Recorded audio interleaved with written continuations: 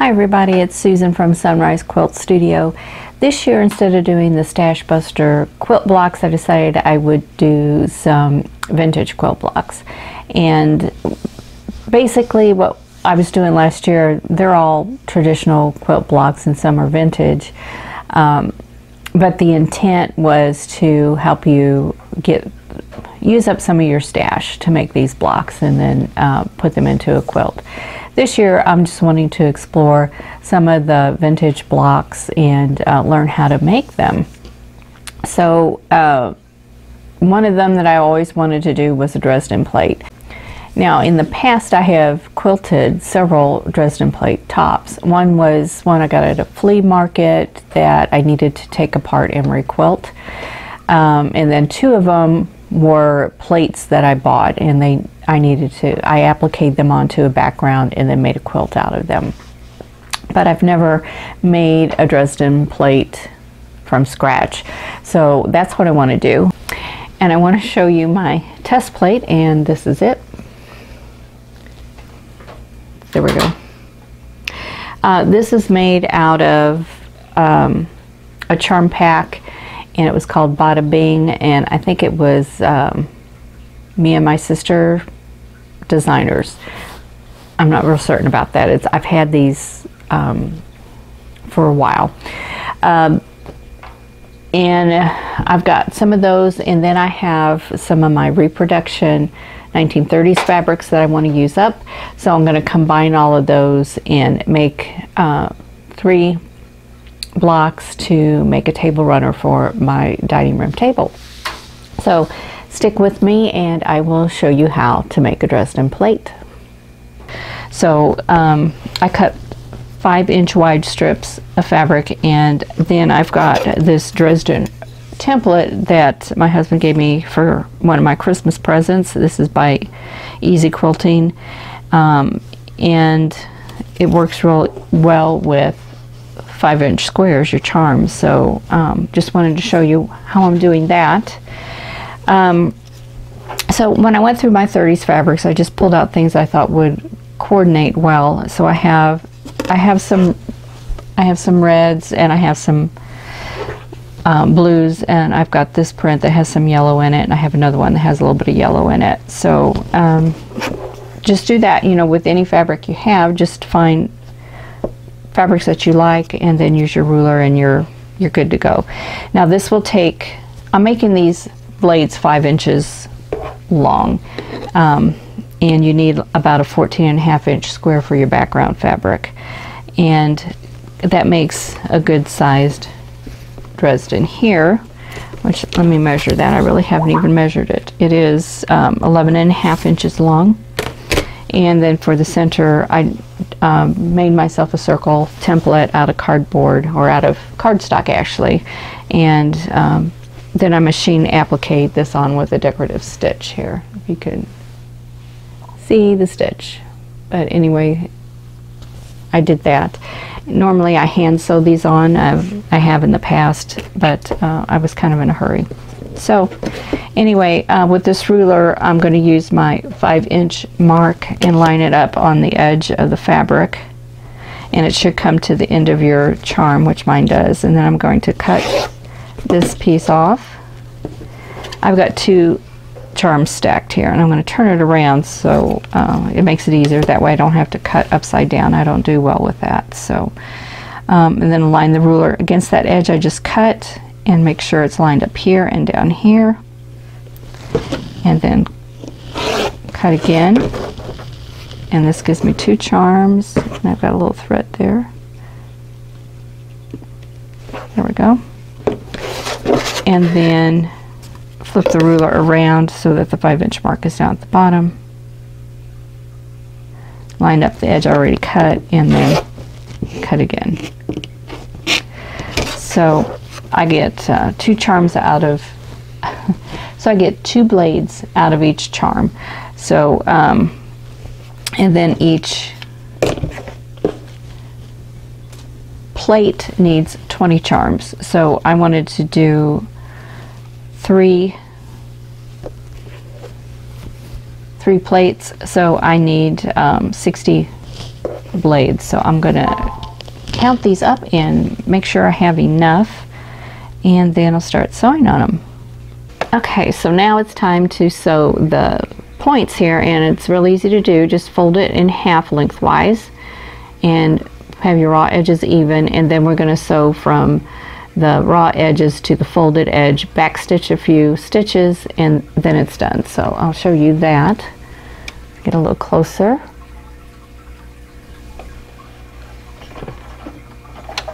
And you will find instructions um, on how to do this from several different people and they may all tell you a different way to do it. This is just what I found has worked best for me and I really don't even know whose method this is or if it's anybody's method. It's just what works for me.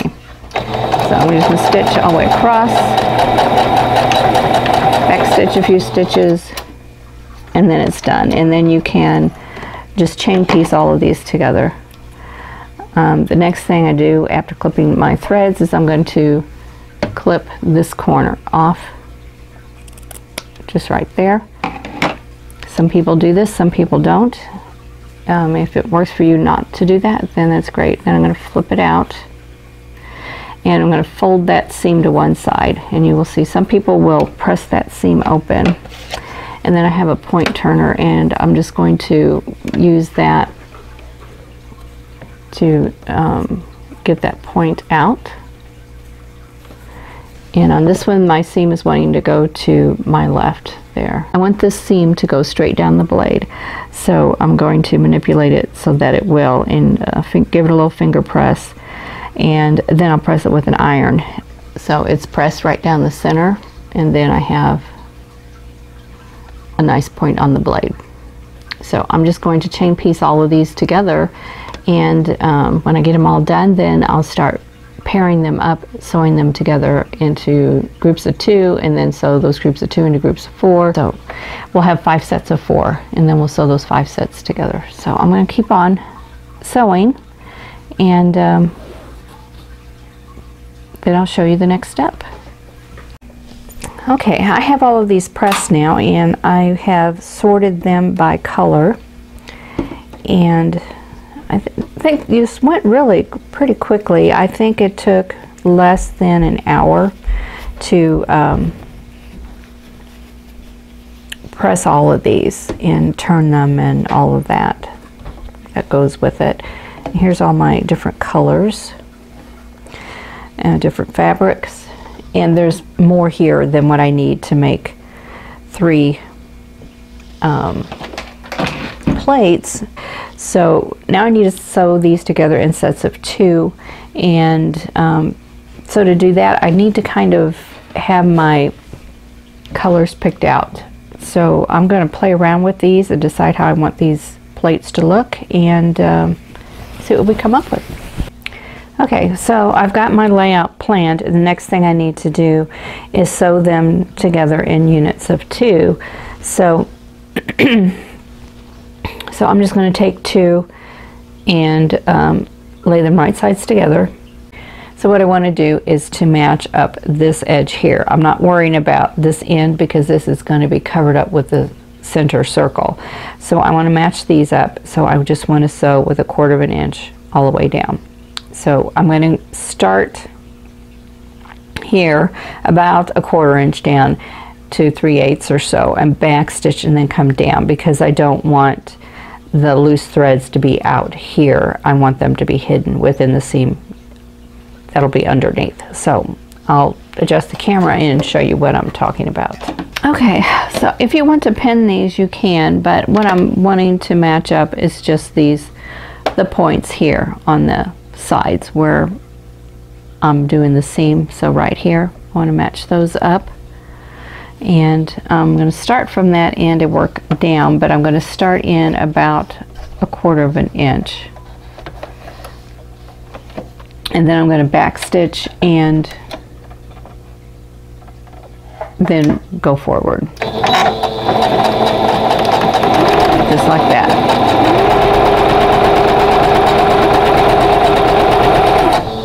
And I will chain piece all of these together, but I want to show you the reason I'm doing it this way. And Okay, the um, the threads, the loose thread tails, they're coming off the side now. If I had started here, they'd be coming off this end and that would, this would be a weak point here. So the fact that I started here and then back stitched and then came forward, that's stronger now because of the back stitching. And then these threads, I'll just clip them off here and um, they won't be hanging out here at the top when I open this up. They won't be hanging out up here and then that would be something I'd have to clip off or tuck in and uh, I didn't want to mess with that. So that's all there is to putting these together. So I'm going to sew these in pairs of two instead of going, you know, all the way around the, the uh, plate. So back stitch.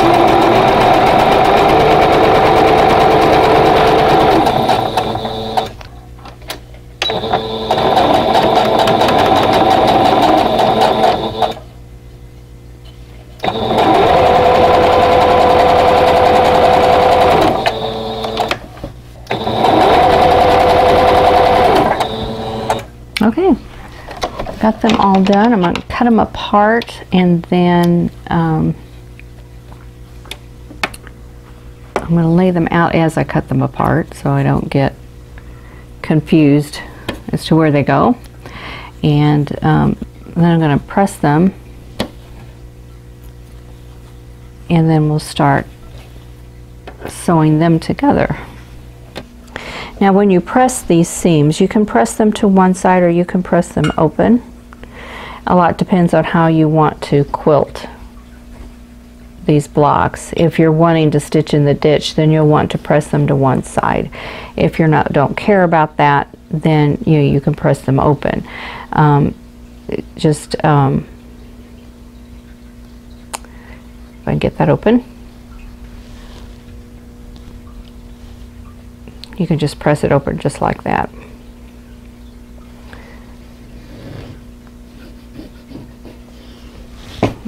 And we'll see how that goes.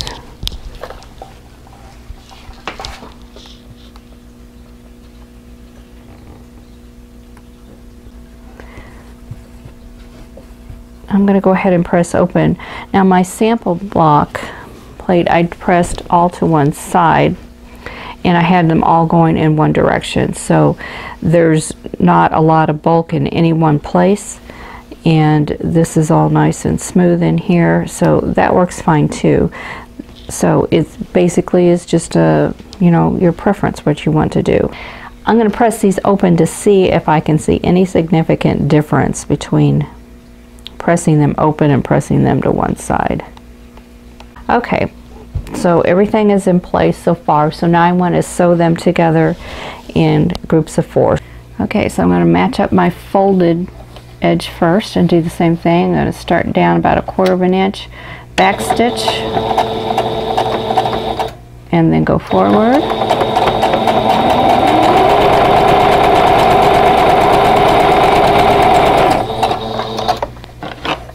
And then I'm going to go ahead and lay these out um, so that um,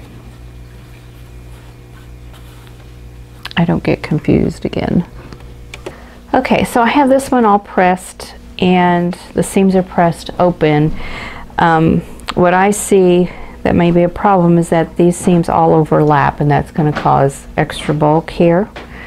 Um, so if that bothers you, you may want to press your seams all to one side. And so it's, you know, it's laying flat enough.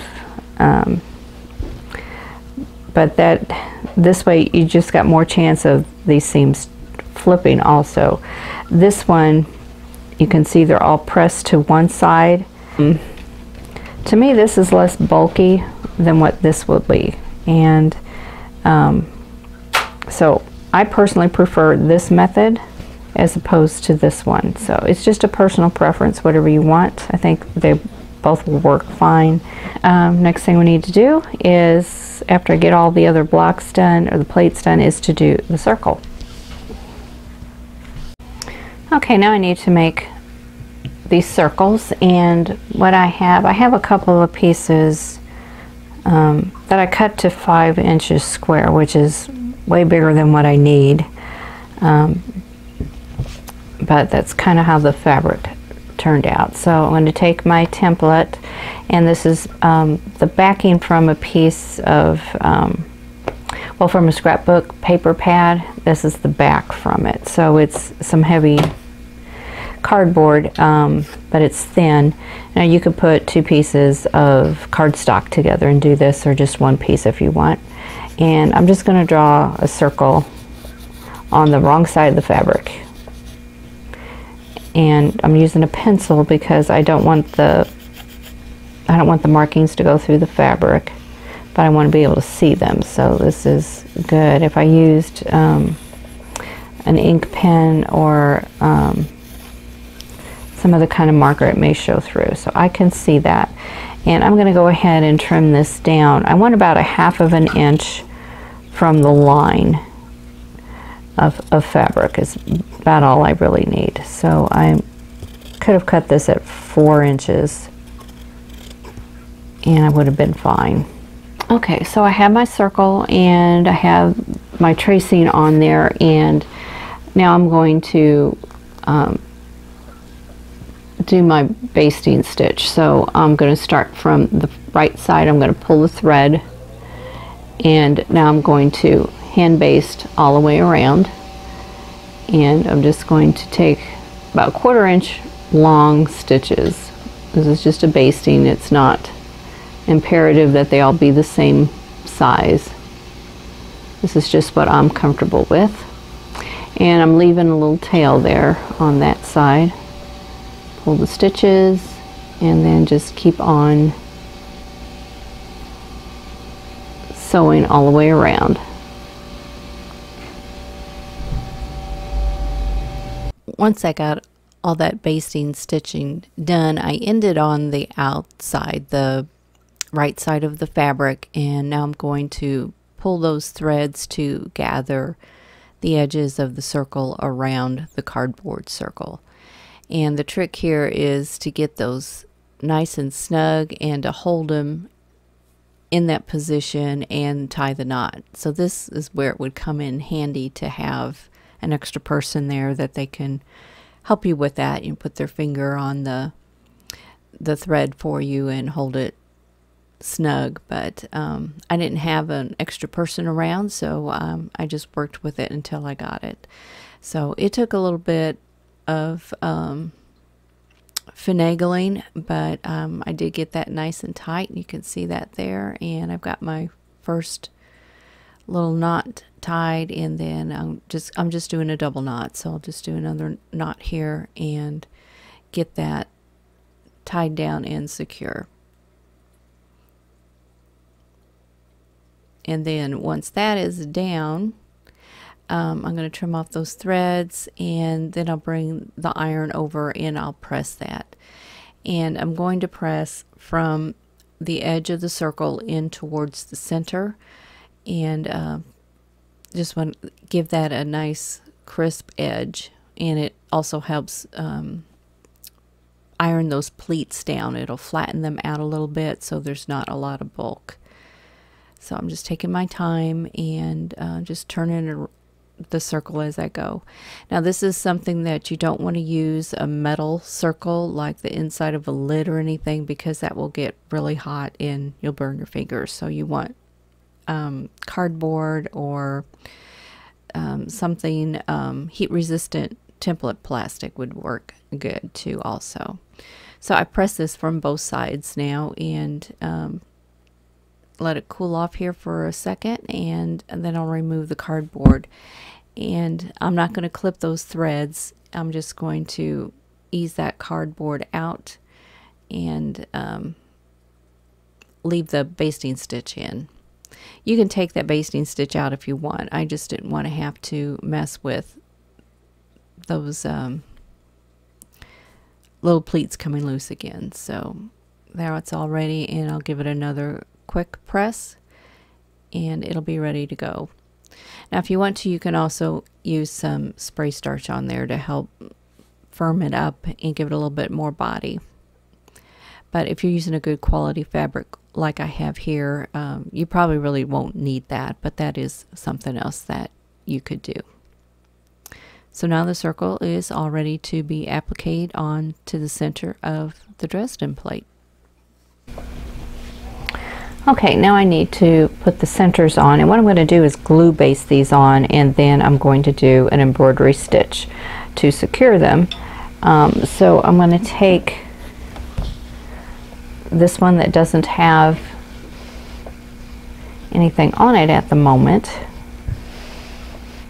and I'm going to take my circle and just kind of eyeball it at this point and then I'm going to take a ruler and I'm going to pick a point which I'll use these two and I'm going to measure out from that point. and this is at four and a quarter. And on this side I'll measure and that is four and a quarter. So let me see if I've got the same measurement here. And this is a little bit more. And I'm going to turn over here and measure that side. And I'm going to go ahead and pull this.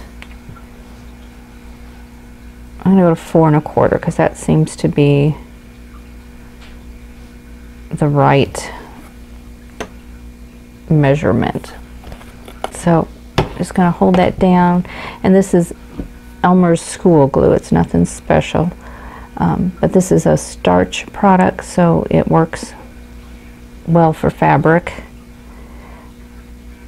and I'm just putting it along the raw edges of the blades. You can see right there, just put a couple dots of glue all the way around. And then I'm going to take a hot iron and I'm going to press. And that will dry the glue and set it and that will hold the um, circle in place until I can get the embroidery stitches on it. So there we go. It's not falling off. I'm going to turn it over and hold some heat to that.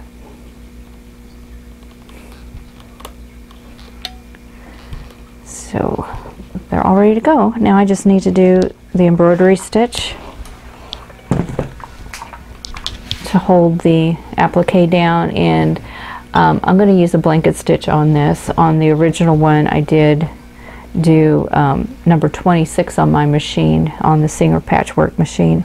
But I'm just going to do a blanket stitch which is number, it'll be 21, number 21 on the patchwork machine. Okay. Now since I've got this glue basted I don't need to use any pins, it's just all ready to go. So um, I'm going to go ahead and punch in what I want as far as width. Uh, my width is at 3.0 and my length is at 2.0. So get that lined up a little better and then here we go.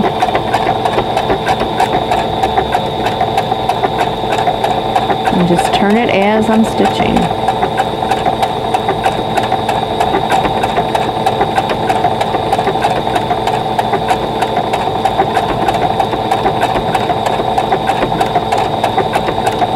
I uh, am all done with my centers and now I need to put the plates on a background square. So what I did first was to measure the um, diameter of the plate and it measures 11 and a half and I measured it in a couple of spots to make sure that um, I was being accurate and it's pretty good. So I don't want to put this on a 12 inch square because that would just give me like a half inch on or a quarter inch on each side. So I cut out a 14 and a half inch square for each one. So I've got four squares here. And these plates will go right in the center. And they can be hand applique on or you can machine applique them. Now I normally hand applique my Dresdens down, um, but you can do whatever you want. And to get these centered, what I'm going to do is to make some registration marks. So I'm going to uh, fold this in half and then just finger press it down.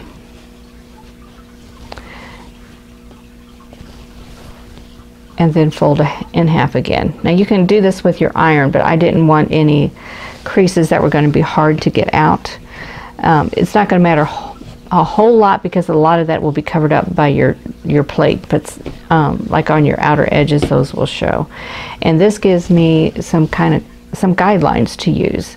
Um, everything is pretty, since there's 20, everything is perpendicular as far as even numbers here and on um, you know, from side to side and these points will line up right across from each other.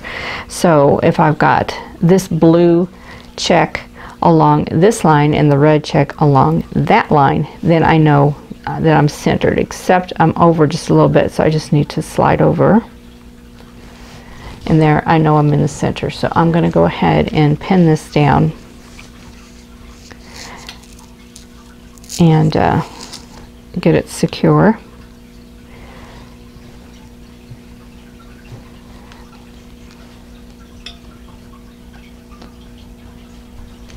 And just do it in a couple places to begin with, and then I'll put more pins in it as I need to.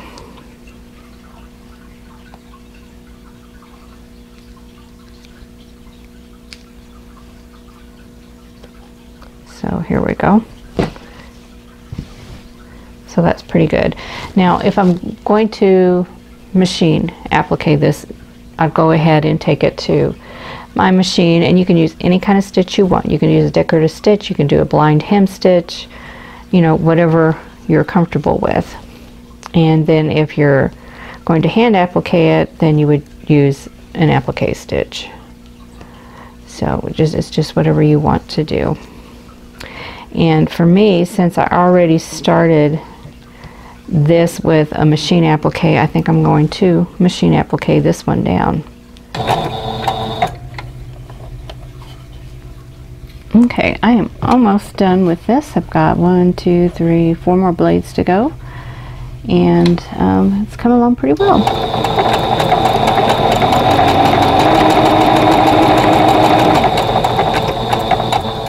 I'm just watching where the needle is landing and turning as I need.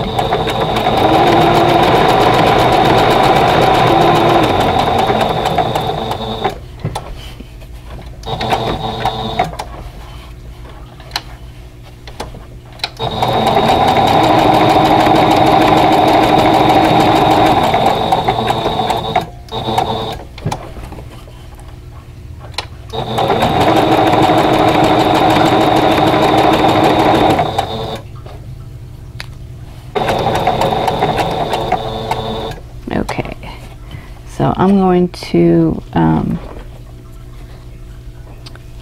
put that back there.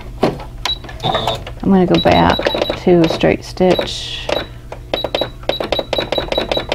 and we're going to lower it to 0.5 and that will pretty much just lock the stitches in place for me.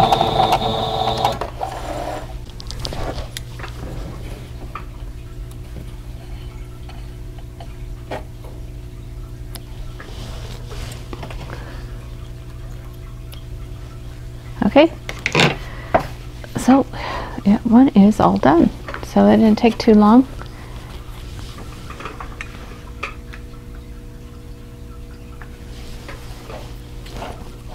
So here is the plate all appliqued to the square.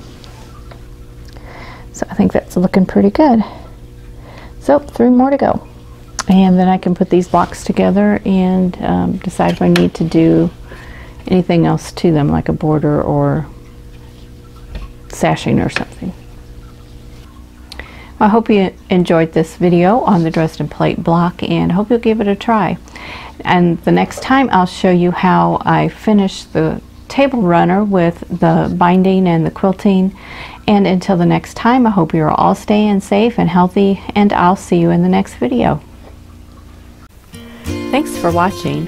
For more quilting ideas, click on the video links. And to keep up with my latest projects, click on the subscribe button. I hope to see you again soon.